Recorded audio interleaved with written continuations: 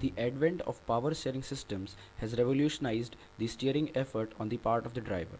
But at the same time, the need for creating interactive real time safety systems becomes essential. So, it is very critical to develop smart systems capable of providing onboard guidance come assistance to the driver. The intent of this project is to develop a steering system test rig for development of a comprehensive fault diagnosis system. The motive is to induce different faults into a healthy system and record subsequent response patterns to create an exhaustive fault recognition system which can help in identifying the malfunctioning unit, predict potential causes, and render the performance of the system optimal. The test rig is a robust steel framework on which the hydraulic steering system, loading mechanism, and pair of car wheels are mounted. These are further integrated with a driving mechanism. Provision of adequate supports at critical locations ensure that the system doesn't exercise vibrations at the operating speed range. The loading system consists of a square threaded load screw which distributes equal loads on the two wheels via a horizontal load plate. The second part of the structure pertains to the driving mechanism which has been grouted separately. This part includes the roller, the shaft and the pulley driven by a motor.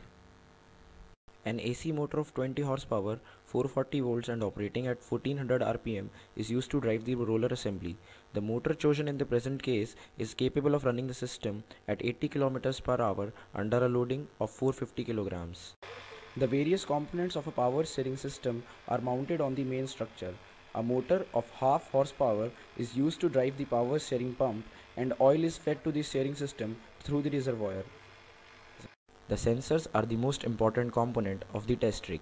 These are basically Mexico bonds, potentiometer based sensors.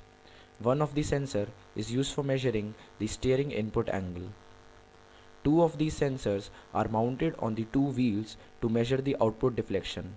One on the right wheel, the other one on the left wheel. A torque sensor is mounted on the steering rod which measures the input steering torque.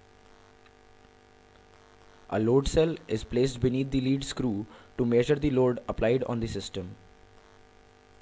The data acquisition system, which is essentially an NI DAQ card, receives the data from each of the aforesaid sensors and feeds this data into a computer system.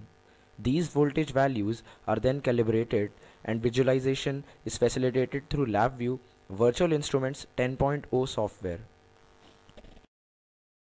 The pulleys of the roller assembly and the motor are coupled using a twin V-belt pulley. The motor once started drives the roller through the belt pulley system.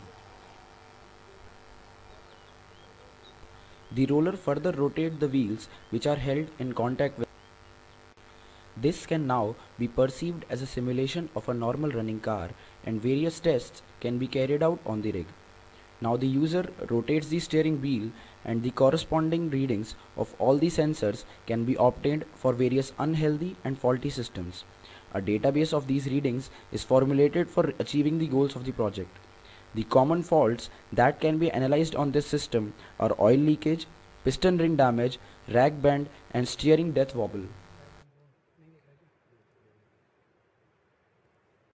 The future scope of this test rig involves development of a smart onboard device which would scrutinize the input steering parameters and corresponding response behavior of the steering system and compare it with the database collected from the rig tests and finally identifies the fault present in the system and conveys it to the user.